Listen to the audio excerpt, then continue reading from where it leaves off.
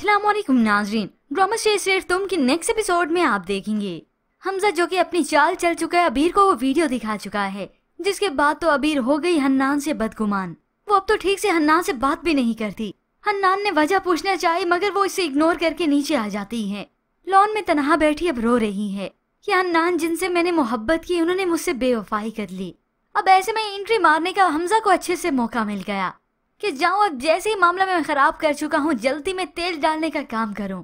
जाते ही अबीर को कह दिया और साथ आके बैठ भी गया। अगर इस तरह रोने से मुश्किलात का हल निकल सकता तो कितना अच्छा होता।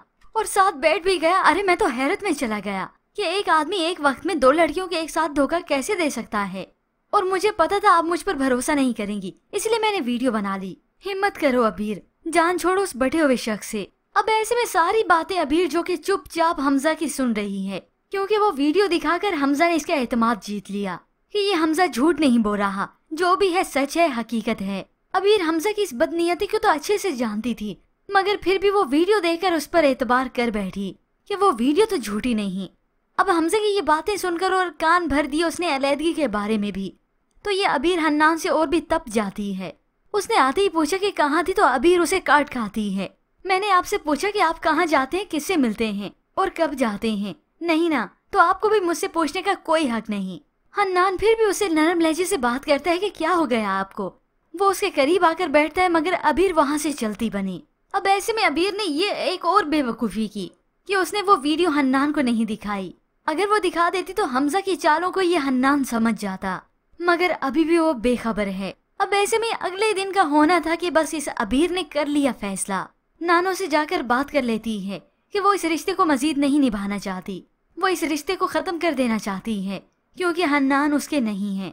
उनके दिल में आज भी सारा है। अब अलहदगी के बाद पर अबीर जज्बाती तो बहुत हुई, मगर वो हन्नान के साथ रहकर उसकी बेवफाई नहीं सह सकती। और अब यूँ ही इस जलती आग को हमजा हवा देता चला गया। एक के बाद दूसरी चाल चलता चला गया। बीवी से वो वेला तो हो चुका है, जेल की हवा भी खा चुका है, मगर टेढ़ा दिमाग तो उसका वैसे ही है। अब सारा दिन वो हन्नान पे ही नज़र रखता है। ऐसे में हन्नान जब शाम को जल्दी जल्दी से घर से बाहर निकलता है तो वो ज़रूर इसका पीछा करेगा, या फिर पूरी खबर लगाएगा कि ये है कहाँ।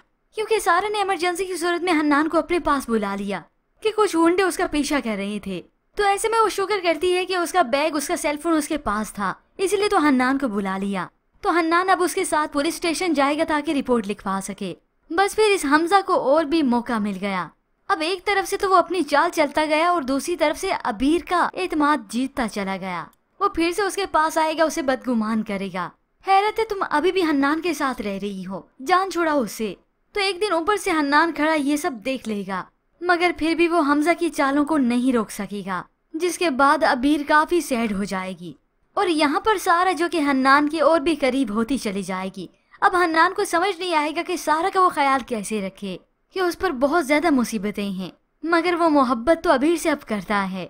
ऐसे में वो दरमियान में ही फंस कर रह जाएगा, पर भी वजाब के ख्याल में क्या हन्नान इजहार कर पाएगा अबीर से? क्या उसे समझा सकेगा जैसा वो सोच रही है वैसा नहीं, बल्कि वो तो अपनी ज़िंदगी सिर्फ़ और सिर्फ़ अबीर के साथ ही गुजारना चाहता है, या फिर हमजा कामयाब होता जाएगा अपनी चालों में। इसके मुतालिक हमें अपनी कीमती राय का इजहार ज़रूर कीजिएगा। मजीद ड्रामा रिव्यूज़ के लिए आप देखते रहिए उर्दू टीवी।